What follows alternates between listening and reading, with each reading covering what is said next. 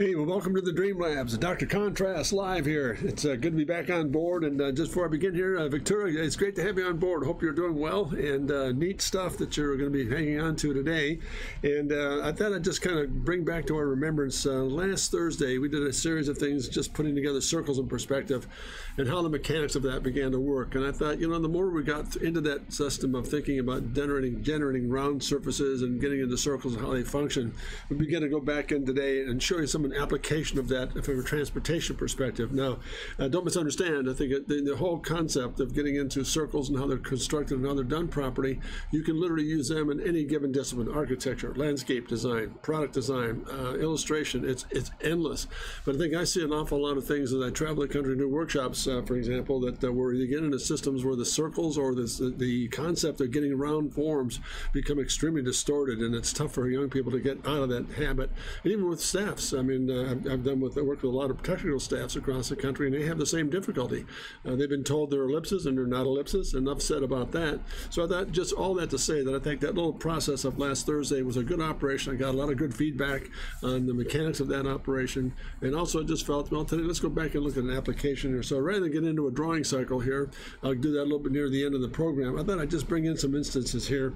Um, some of the work I've done for a lot of variety of client bases and some transportation design, and what you'll see here is a variety of ballpoint pen, uh, Prismacolor pencil, some watercolors, some marker pastel. It's all over the place. But the one thing I want to really focus in on here for all of you who are tuning in, uh, Victoria, thank you, is this. Uh, there's a lot of collapse when you work with circles and perspective, especially in transportation design. Let me clarify what I mean by collapse. Look at this, for example. Look at how this front wheel and this particular three-quarter front extremely open. As you move back, look how that whole thing collapses. It narrows down. And I think that's the big mistake we make an awful lot uh, when we begin to illustrate these things, especially in transportation design we have a habit of saying, okay, this is a full maybe 60, that should be a full 60, but not the case. As you go back in perspective, that whole landscape begins to diminish and it puts believability to it. That your, your station point remains the same, but as you move back, the whole thing starts to twist on you a little bit. So that's what keeps this in proper perspective. And the same with this front three quarter here. Look how look how open this guy is up front, and as you go back in space, look how we diminish that that, that far side circle to make it really function here. So uh, let's go through this whole portfolio here, and I'll just kind of walk our uh, way through it and, and, and, point out some interesting things in it that might be of some interest to you. So um, here's a little thumbnail study, of some of the early concept sketches for the C8 Corvette, uh, done uh, just um, oh, some time ago. Um, I can't recall what date it was. We've, been on that program for the last, uh, what, 30 some odd years trying to get a midship on the marketplace, but we finally did. But these are some of the early concept sketches trying to break away from the paradigm of Corvette with a very lumpy fenders and you know, a little more sheer and more European with the design format. So uh, ballpoint pen sketches. Here's some a rear three quarter study. Let me move this out of the way there so we can kind of see where we are there. There we go. I think that'll work. Uh, rear three quarter study, getting a little more, a more uh, um, adventuresome with some of the rear tail box graphics lower upper and a little bit more side view. where We really cranked the belt line up into a real high hip in the rear three quarter. Some elevation studies here, getting into some, some scoop details. Coming pretty close in this guy right here, where all of a sudden you begin to see a little bit of the generation of that, that whole form of the side intake piece coming together. Some very sheer, a little bit too sedan-like here, obviously. But again, notice the roundness of, again, look at an example here. Look at this sketch. Again, talking about this whole idea of collapse. Look how full this guy is. As you move away from it, look how thin that gets. That's the whole idea of how circles should work to maintain the accuracy in your perspective sketches. Now, uh, does that mean, for example, that to be perfect? No, but the, the character should be such that we understand closest to me, it opens up. As it moves back, it diminishes. So let's go back and look at this sketch here. We're going to do a series of them. Some little color studies, again, get a little more organic with the thing, uh, a little more flamboyant with some of the graphics, for example. Uh, some very round nacelles. Again, side elevations, again, a rear three quarter trying to get graphic with it and uh, putting some color system into it. It just didn't really seem to fit the bill. But the idea again of getting this whole process down, of beginning to see how this system works. Fuller, narrower as you go back. And again, that the most important thing about that aspect of getting into the idea of how to understand how perspectives do. I just checked out a car at Show Less We Have. Ah, cool. What do you think? Did you did you like it? Neat machine. Um, What's interesting about this whole process of getting circles properly is if you really go in, if you go down and look at these guys very, very carefully, that whole process, as Syd Mead once said, once you plant the wheels and do that correctly, everything else falls into place because it set the proportion for the sketches up. So here we go. Let's go to another one here. Some little three-quarter studies here, a little overhead engine intake, getting a little more dramatic now, on a 488 system on Pista, where we actually kind of pulled back some of the things and looked at it. I got a little front three-quarter. Here's a good example again of how that whole wheel system works. Look how full that guy is. You move back, it almost diminishes. Really solid stuff to work with here. Now, these are not the greatest sketches, don't misunderstand, but they're hopefully, hopefully beginning to glorify or accentuate the idea of how circles work and why they set the format for proportions, scale, character, etc. in our sketches.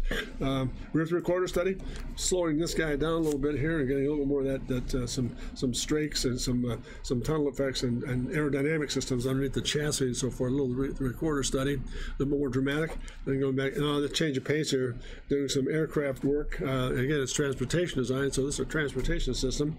This is some drone work done for the United States Air Force, just some thumbnail sketches, and looking at uh, different geometric, almost stealth-like processes and getting some stealth work done for drones. Again, not a lot of circles here, but again, the whole idea of perspective uh, part of the process as well. So there's a variety in this portfolio. So it's not all cars. So now back to Corvette.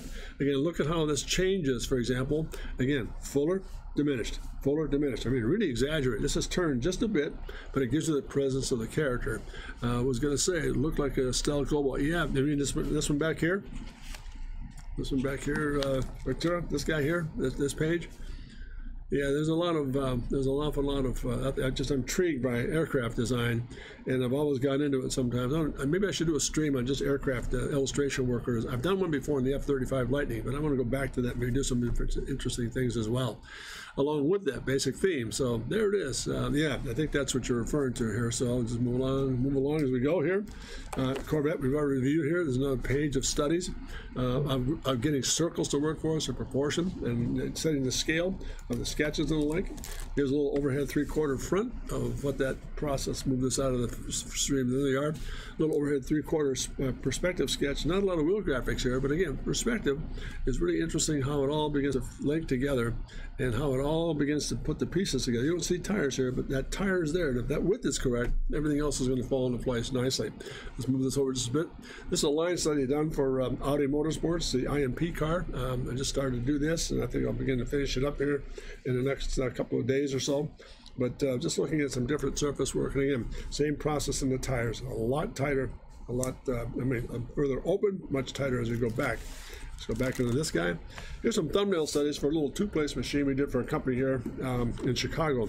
They're looking for inner, inner city commuter car. Uh, very interesting little thumbnail sketches and how it all begins to put together.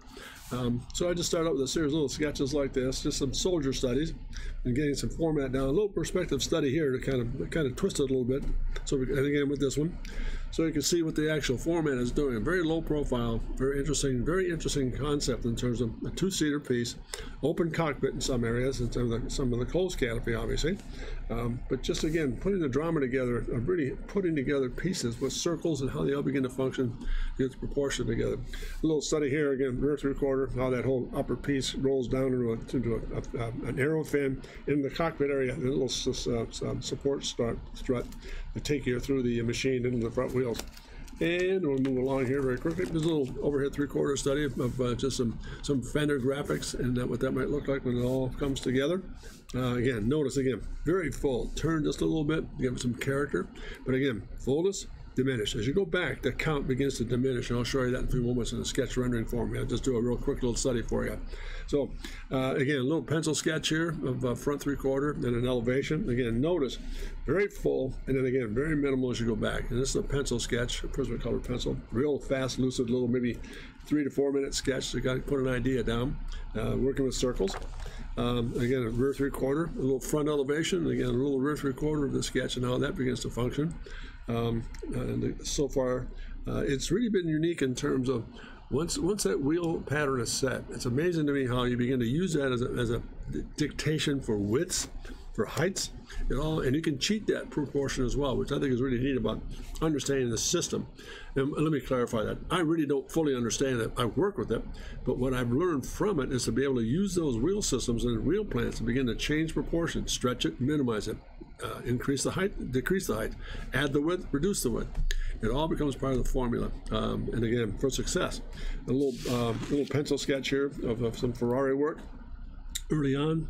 Uh, I mean, LaFerrari, we actually come in the big floating fender, and again, back into the, the, the uh, sill system, back into the tail section, and a lot of drama changes in this car when it came to uh, came to press uh, from a manufacturer point of view and hit the marketplace.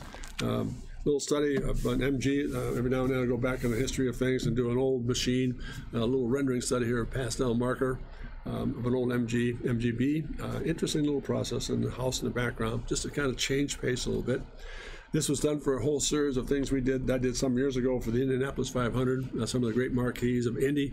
This was one of about 12 pieces I did for Indianapolis Motor Speedway. Um, again, same process where this is the old Miller system and uh, Miller Motorsports. And again, wheels open up and minimize it, and a little bit of the, the grandstands in the background to give it some character. So that was that part of that process. Another little IndyCar uh, piece that was done, for example, this is uh, the Indy 500 winner of 1928, and it was a fantastic streamliner. It's a Stutz Bearcat, you know, uh, Blackhawk, pardon me. You don't see an awful lot of that or hear an awful lot about this car but it was a very unique, almost a steamer, almost uh, harkened back to the days of the Mercedes-Benz Streamliners and the Audi Motorsports and the Bluebird categories um, back in the 30s and 40s. So we brought it all back. And in 1928, right, pardon me, I take it all back. This was part of that same generation of, of, of racing machines. You know, just progressing in the 30s and 40s into Bluebirds. But that was an actual IndyCar uh, competitor that, had, that set the speed record too, if I understand, uh, 203 miles an hour um, in a throttle run in 1928. So a pretty powerful little machine. Um, this is the obvious one here. This is a series of studies I did for Maserati some time ago. Uh, the birdcage Maserati, a very simple little sketch here, uh, just an elevation. And that was Stirling Moss driving the uh, the, uh, the birdcage. And I believe in this case, I think it was at uh, the Nürburgring in Germany. Uh, that was a little illustration piece done. This is a photocopy of the actual piece. The actual piece was rather large. So um, th this is just a study in, in, of, in the portfolio to kind of put that into some position. But back in the little ballpoint pen sketches, back to Corvette studies here again. Notice some of the early generation where we try to keep the same flavor of the Corvette with the, uh, you know, the, the, actual fender blisters coming back into a little nacelle on the body side. Pretty timid looking approach, I thought, for the C8 as we see it today. That it started there with a very simple set of melodramatic, um, anti-dramatic pieces of let's keep the character, and all of a sudden it opened up, and we've got to be much more competitive, and it ended up, ended up with the C8 we see today. Uh, rear three-quarter study, obviously, same kind of system. Trying to get a little more Ferrari into it, and uh, maybe not as organic as the actual machine um, actually C8 now that's out on the marketplace. And my preference would have been, um, when it was all said and done, uh, I would love to have seen more of a rounder tail lamp section going back from the Harken, the, the C6 series, and uh, so on. But um, uh, too late to do that. There was a time for a change, and um, um, that's what took place. We were more to the actual, almost Lamborghini type uh, horizontals, as opposed to the rounds uh, uh, that really dictated the Corvette's history as a mimic of Ferrari back in the 50s and 60s. So there we are, a little ballpoint pen sketches. These are some transportation studies I, I have done for uh, ski mobile firm up in uh, for uh, oh gee, what is it? Up in Minneapolis, Minnesota. Um, Ski-Doo. It's an interesting little series of sketches. They came to me. and wanted some conceptual work on some future thinking snowmobiles. So we did a series of sketches. And the reason I brought this in, uh, for example, look at the gauge package here. Again, same process of circles, but how they begin to dictate what the perspective does. And if you put drive lines through this thing, you would see that that'd be your center line, perspective drive line, perspective drive line. It all works together. So I thought this was a good little piece too to show you what this this whole idea of like going back to last Thursday's explanation on the mechanics of the process of circles, then today's stream about how to apply that into product design. Little front three quarter study for the same process. Uh, very interesting set of outriggers and a, a floating canard system uh, pontoon fenders and this little this little paddle piece to kind of stabilize it in the snow. Another little sketch of it, uh, concept work. Uh, another little piece of work for MG again, um, just a little little uh, study of value, looking at the possibilities of, of, of just uh, what, what shape does and what color will do, and again, again the tire, the, the concept of tires very round, and almost round, but just a little bit more, just a little narrower as you go back in perspective. This was done for Bentley. Uh, this is the uh, speed, the uh, X, EXP Super 8 at Le Mans. won three times. Um, terrific 24 hour Le Mans. Just a brute of a machine. And again, you can't see the wheels here but those tires set up the perspective in terms of how to get the width down, how to get the height down, and how to get the length down. So it foreshortened it all. It all became, yeah, hey, how you doing there? Nice stuff. Uh, nice color work. Oh, thank you very much. It's interesting how it all begins to kind of play together. Move that light out of the way. Let's get this down just a bit. Is that going to be okay? There you are. There you go. Um, so Bentley, uh, piece for Bentley. Turning the page again. This was done for Chrysler Corporation, a little uh, two-place coupe off the Viper platform, but it uh, never saw the light of day in this, this case here. But again, a little ballpoint pen sketch, a, bit of, a little bit of pastel wash. And again, looking at the system of working with wheels and how round surfaces and circles begin to influence what we see here. And again, this was done over here. We were approached by the Honda Group, uh, Acura out of Europe, to look at uh, next generation, some Acura um, two-place uh, motorsports, which became the NSX. Uh, this is some of the early concept sketches uh, for that, that platform. Notice the intakes up on top, out of Formula One. Um, interesting approach to it. The twins, one on each side. Um, that started the whole process moving for the whole process in that area and for a category in that manufacturing system.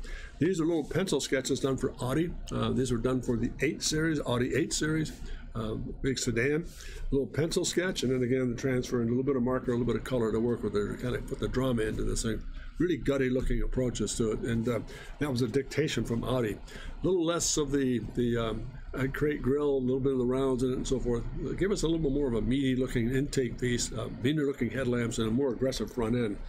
So that was again, notice again the wheels, uh, come back to that. Very tight, but again, a little tighter. It's not much, but it's there to give the right uh, sense of perspective and scale when you move into the sketch itself. There's another page here. Another variation, turning it around. A little softer in the upper, but again, notice even though there's a little, there's a very minimal amount of distance between the span here, there to there, it's much, a little bit wider, much narrower. A little bit of a different approach here in this guy, where you actually a little more voluptuous in the front end system, less less mechanical, less lethal, and into more of this approach where you actually open it up a little more. This came very close to some of the early studies that we did uh, for the um, for the um, Audi 8 Series uh, when it was um, becoming part of the platform for facelift change in the marketplace. Let's turn the page here a little bit and go through the process. These are a couple of pieces done for um, some advertising for a firm here in town. Every now and then I get some some information to do some Christmas cards. I don't know what they're in is for, but again, there's a big circular the train system. That was interesting little uh, sketch rendering piece. Um, uh, Mettler always comes to me maybe about every year and wants me to do a Christmas card of some sort of transportation system or manufacturing system. So I just kind of opened it again. Little machines in here that had rounds in it, it's not really as prominent as some of the things we're talking about here uh, in terms of circles.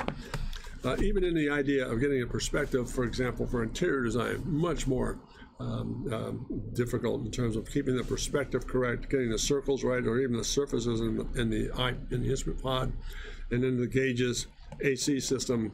And again, notice the wheels, much fuller, much more minimalized. This is an early study for C7, I believe, at that time. We would change over from the 6 series, a little more drag, and kept some of the same character of the 6. We brought it into the 7. And as far as I'm concerned, I thought the 7 was a much more aggressive approach than what we ended up here. Um, so, but again, again, it's a simple ballpoint pen marker and uh, and pastel sketched. Uh, just kind of get a mood down. This was done for Elf, uh, uh, Sir Jackie Stewart in the uh, Elf um, uh, four wheeler. Um, interesting little composition. Again, notice a lot of activity, but still that same process coming together here with the wheels being extremely minimal and just missing the rear tire as a part of the illustration. But uh, again, that was uh, that was a portion that was taken taking place in these little studies. And this one is um, this is Rene Dreyfus in the uh, Bugatti Type 35 in the hill climb. Again, notice again, notice I really kind of turned the wheel over here, but it's real minimal. And if I could finish the last tire, it opens up just a bit more. Um, and uh, fun stuff to do. This is done for Bugatti, uh, and uh, some time ago, was the, the hill climb series that uh, Rene Dreyfus was involved in in that time period back in the 30s and 40s. Um, and this is a, an illustration done for um, Alex Zanardi when he was with the Target Motorsports. When I was doing an awful lot of work with IndyCar, um, they came to us, uh, Ganassi group came to us and wanted to do a commemorative piece for Alex. So I put together this little composition. This, uh, again, is a very small variation of the final sketch. The final sketch was huge. It was about maybe 24 by 40. It's a large piece uh, done for Zanardi uh, when he won the Indy 500. And unfortunately, went on some demise here with that uh, tragic accident in Germany and also the recent one, that head injury he received just very recently in Europe when he was driving BMW closed wheel systems. So again, notice same process with tires. I mean, the whole idea for the stream is to really put the process together with what we did on Thursday, which was the mechanics of it all, and then today the aesthetics of it all, putting in the whole context of with transportation design, how to work with those tires and wheels in circles to get the proportions correct as we go through the whole part of the lineup here. Um, little study for Porsche 911, ballpoint pen sketch. Let's put this all together here like that. We're in good shape. There it is little front uh, front and rear three quarter on the 911S, um, the Targa version with a real gutty intake and so forth. Just a nice little pen study. And then I finished out a color piece that went to them. Uh, I don't have the record of the color piece. I didn't have time to get, uh, have it recorded, but that was part of it all. This was done for uh, Marlboro Motorsports um, for Honda at the time, and um, also uh, this is um, Ayrton Senna in the um, in the MP4 uh, uh, Honda. Nice machine, little little thumbnail sketch, front three quarter. No real tire drama there. Just a neat piece to add to it.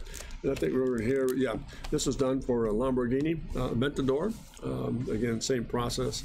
With again, even though they're pretty compatible front to rear, there's still a little bit of change in the pinch there. And then coming back in with this, looking at a very full tire and a very minimized tire. Again, that I can't I cannot stress enough how important it is to understand how that process works. Because what it does for you is the following. If the wheels are planted properly, a la Syd Mead, never forget him telling us this. If the wheels are planted properly, that sets the mood and the tone for proportion, width, height, overall length, and character of the car you're trying to deal with. And it's so true. If you miss something, for example, in the tire proportions, man, it just is an absolute killer. Uh, it just destroys our perspective the drama of the, of the sketch is gone, the character's lost. So it's a very careful set of circumstances. Pardon me. What I mean by careful is not being cautious. Careful in the sense of knowing where the proportions are and how to set it all up makes an enormous difference. And uh, boy, uh, over the years, tremendous and invaluable lesson in terms of putting together the right circles in perspective for transportation design, which is this stream is all about. Last but not least, we've seen that Bentley piece again here, seeing that Stewart piece. This was a little, little study in contour and section work that was done for Honda uh, for a motorsports piece, off-road vehicle.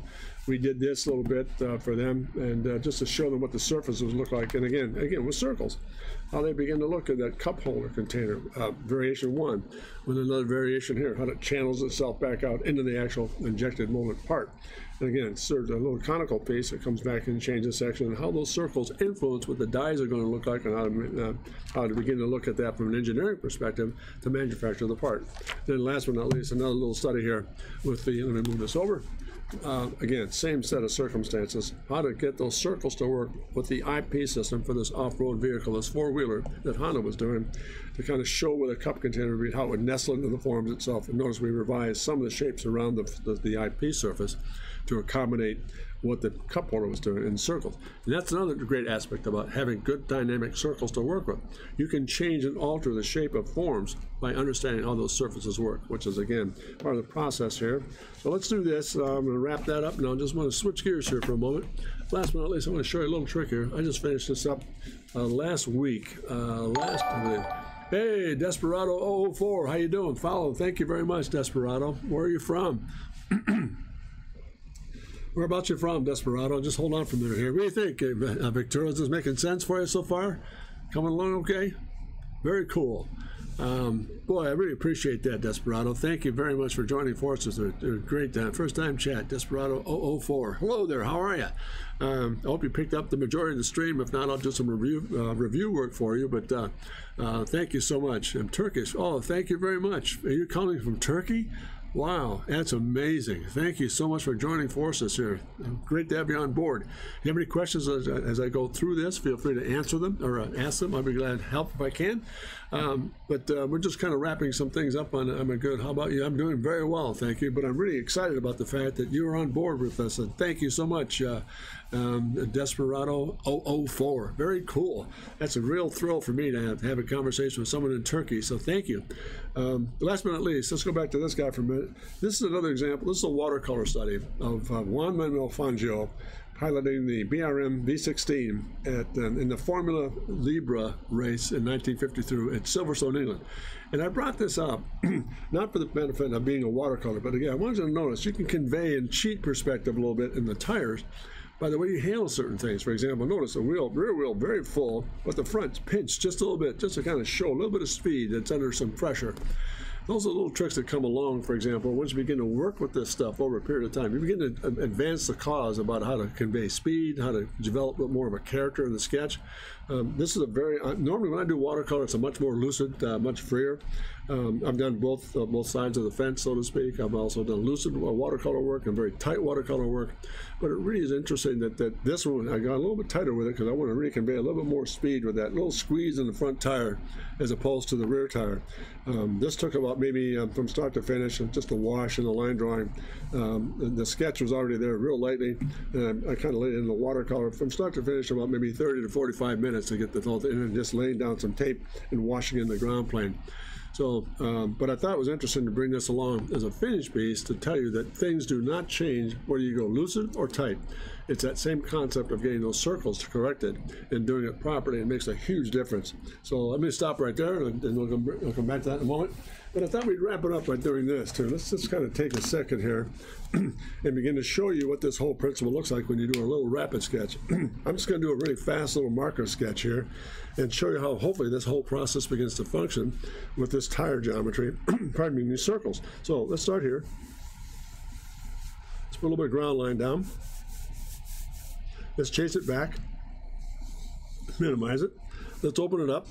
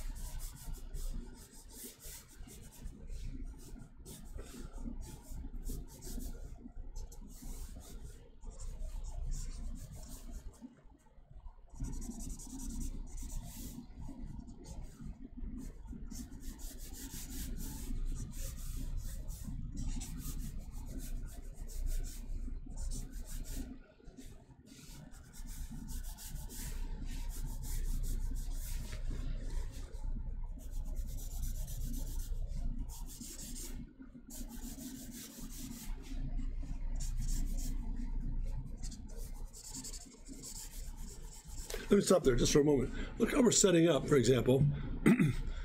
I'm good. How about you? I'm doing well. I think how we're setting up here, for example, the whole concept of getting this whole idea to work with us in terms of how to generate the circle properly and then going again full force up front and then minimizing as we go back. Hard to draw through this thing. In fact, if I took pencil, look what happens here. If I draw through this thing and get that scale to work with us, look at this. One, two, three, and it minimizes as it, and it results it, minimizes it goes back. That's the thing that i really want to stress in the stream today about how that operates. Let's go let me finish this up for you and not bore you to death. Center line the center line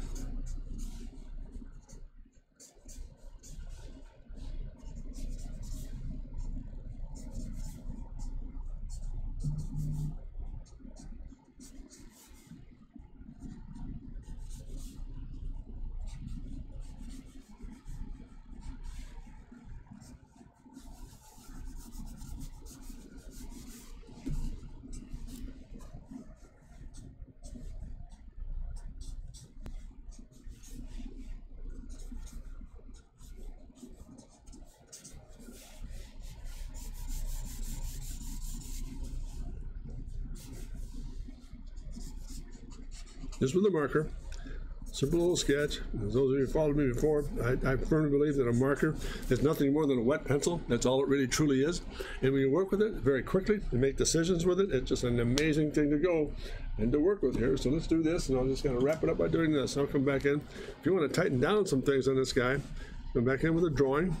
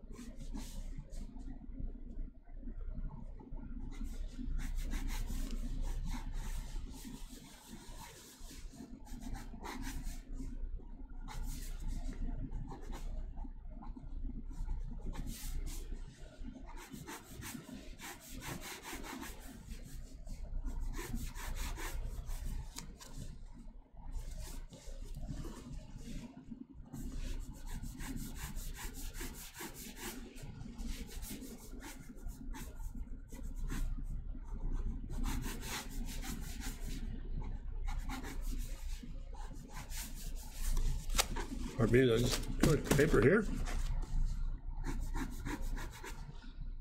And we'll take a little bit of a shot here and just get this guy up, up to speed and put a little bit of backdrop in it, a little bit of high contrast.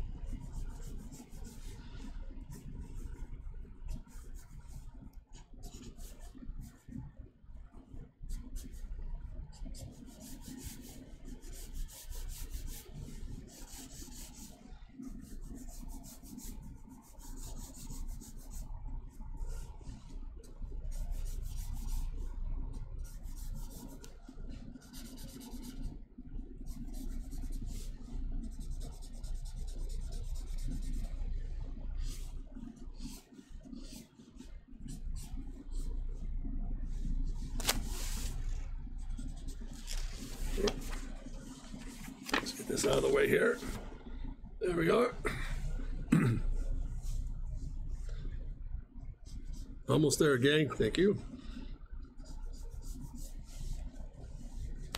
Turn this aside. Get a little more of that, that wheel kind of kind of tuning there for us. Very cool.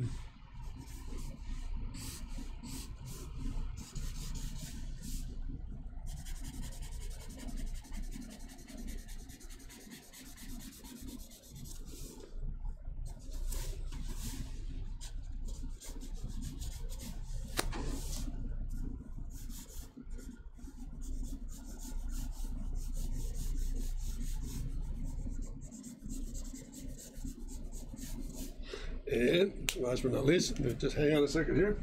A little bit of tone to it here. A little finishing touch really helps to do the following. You come back in, something like this, you just kind of touch this in just a bit, blend it in. Come back in, blend it in.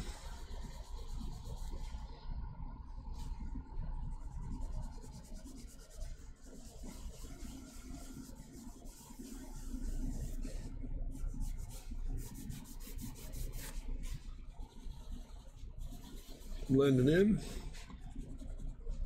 blend it in, and blend it in.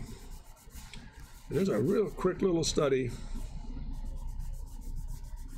It's in value. A little bit of shot together. There it is. A quick little study here, guys, on how the whole process begins to function once you get into the system of working with circle of perspective, how you begin to understand, for example, how this guy works. You open it up, then you close it down, you come back in and just start to really crank on some neat stuff in terms of drawing systems. And that does it for today, gang. I think a really nice job in terms of putting together a very simple application here from all the materials we did, for example, in the sketchbook, and what that really meant um, based on last week's uh, stream. Um, again, on Thursday we worked with the mechanics of how these circles work, and today we just kind of kind of back and just opened up uh, the, the uh, book a little bit. So here's how it begins to function in uh, in my sketchbook or the portfolio piece, and um, hopefully this has been some help to you. and again, uh, boy, I tell you what, uh, Desperado 04, I really appreciate you joining forces with me today here. Great to have you on board. That makes sense for everybody, Victoria. Uh, good. Are you guys good? Pardon me here. Good job. No, it's not easy at all, uh, um, Esperanto. You, you, you've gone, you've gone through this. It's a lot of hard work. It's a lot of practice time.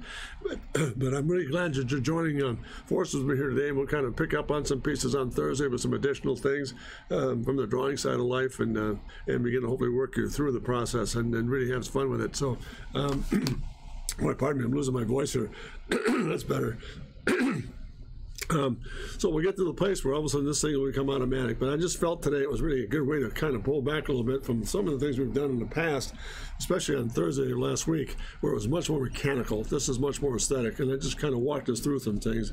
But the whole purpose of the stream is to understand how circles work and then how they begin to function at it, especially in transportation design. So for future references, I will be doing things like uh, landscape design, architectural work, product design work. I just started with the transportation because it seems to be the one where most people have the most difficulty with in terms of putting it all together. So it was a good way to kind of put that piece together, wrap it up with a little bit of theory last week, and then the facts of uh, of being truthful and much more, uh, for lack of a better term, much more aesthetic with this stuff today. So hope you have a great uh, shot at it. If you have any questions or, con- or concerns, um, Desperado 04 or Victoria, please feel free to drop me a note at my website at jim at drcontrast.com. Um, Desperado 04, if you're looking at some very interesting uh, for, uh, to uh, maybe help you with some drawing systems on my website at drcontrast.com, all lowercase. Uh, you'll find a nine uh, program drawing uh, section there that hopefully will be of some help to you. Um, and let me know what you think and drop me a note on, on my, as I said, on my email at jim at, at drcontrast.com. I would love to continue my following. So if you know of individuals who have an interest in doing this and want to um, pass the word, love to have you have them join me. Thank you so much again for your time today, gang. Um, and again, Desperado, look at my website. I'm, I'm on my website. You'll find my Twitch series, my YouTube series, and my Instagram series. in addition to what we're doing here. So thank you very much, gang, and I hope you have a great day. Take care of yourself. And uh, I always close with this because I think it's extremely critical to do so, and it's probably the most important in the stream. Never forget to dare to be great because you are. Thanks very much, gang. All the best and take care. Thank you.